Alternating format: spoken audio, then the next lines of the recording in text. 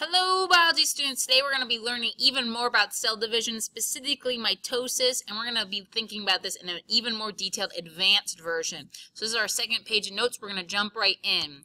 Before we jump in, let's really overview cell division and why we need the cell cycle. Um, again, we don't want the cell cycle to go wrong because that's how we get diseases and cancer, but our goal was to grow new body cells, repair and replace old body cells. And all of this needs to happen in a perfect synchronization of moving DNA around the cell. Otherwise, we're going to have mess ups, and again, that's going to create some diseases. So in order to understand that in this dance of the DNA around the cell, we have to understand the different forms DNA can come in. DNA can come in a really long, stringy form that we are maybe a little less likely used to seeing. Um, this part, if we were to look under a very fancy microscope, we still wouldn't be able to see the DNA all that well. It is only when the DNA has super condensed and coiled up amongst itself again and again and again, coiled, coiled, coiled, that we can see it because it's so tightly packed. And usually we're used to seeing this one in pictures because it's this well-known X shape for DNA. So we call that chromosomes. So I remember this by saying chromatin is thin and stringy. I can't see it, but chromosomes are condensed. I can see them. They're visible under a microscope. So as we learn about the different stages of the cell division and move forward, we need to be able to identify each stage during looking at a picture. And sometimes looking at the different forms of the DNA help us identify it. So again, we're talking when we say cell division, we're really thinking about cell cycle. The division part only happens when we're really looking at the mitosis part, but we're really going to review all of it because we need to be able to identify everything through pictures. Let's jump in. Our first and longest stage was interphase. We learned that last class. And now we're learning that in this picture here, we have a plant cell, and we're looking at it under a microscope. Here's the nucleus, and this we're used to thinking maybe as that nucleolus, but I don't see any X's, so my DNA is in that long, thin, stringy version, chromatin. I like to think this looks like an eyeball, and that's what I look for to find interphase examples. During interphase, we also know that this takes a really long time because we have to replicate the DNA, which refers to copying the DNA. Which part of interphase did that happen? Ah, it was S phase, the synthesizing or making phase. And what was the G standing for?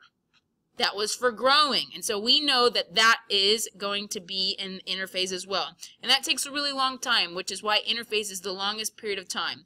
But what our new piece of information is, is we cannot see the DNA easily in interphase. It's still intact in my nucleus, but I can't see it.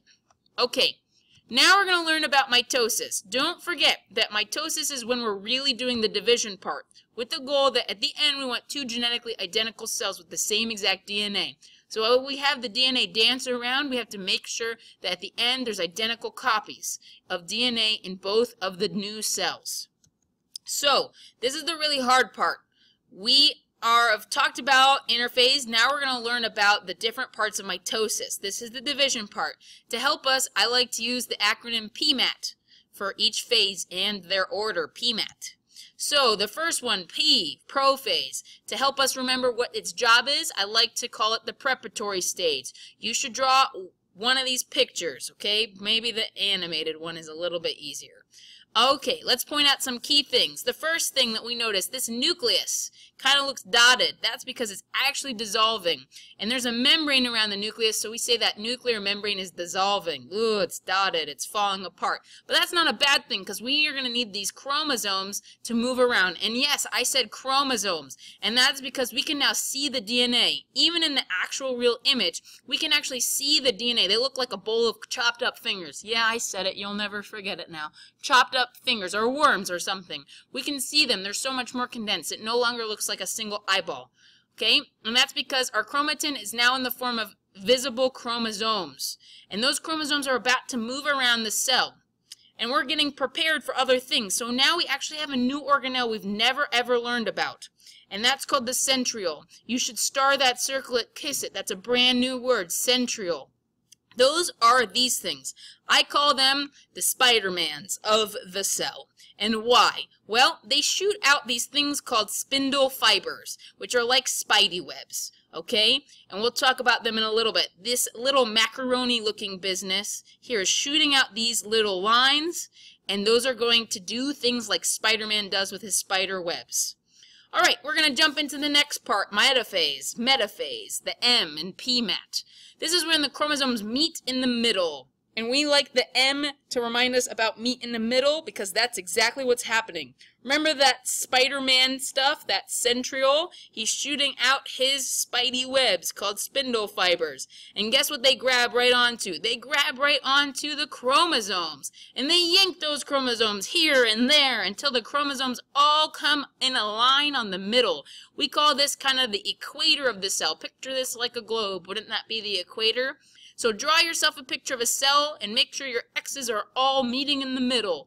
Here's what it looks like in real life, which is not as clean, but this is our easy to identify metaphase. The chromosomes are all aligning in the middle.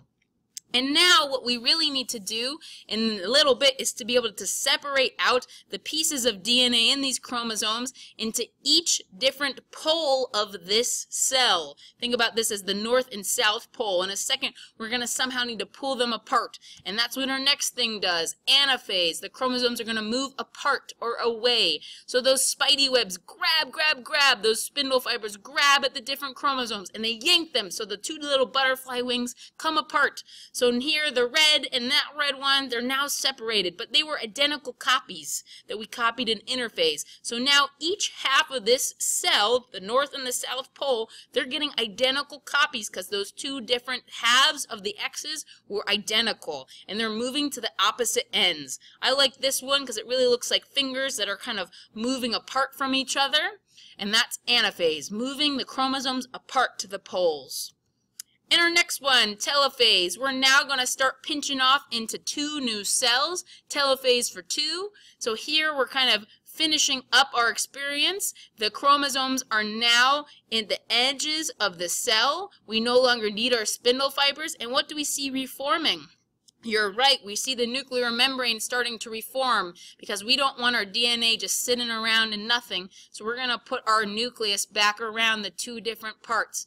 All right, but we don't quite pinch our cell in half yet because that is not part of mitosis. That's a separate step we're about to review in a second. But really, we're back kind of almost like prophase, but now we have two identical nuclei forming. All right, again, we're kind of going backwards to where we were in prophase. So we initially didn't have chromosomes. We had the thin version. So these coiled up versions are starting to unravel or uncoil and are becoming thinner and a little tougher to see over time. And then when we get to cytokinesis, remember that's the cell moving. This is where we actually are going to split the cytoplasm in half. That's a whole different stage. So we had interphase, then we have mitosis, which is PMAT, and then we have cytokinesis. So I like to call it IPMAT-C.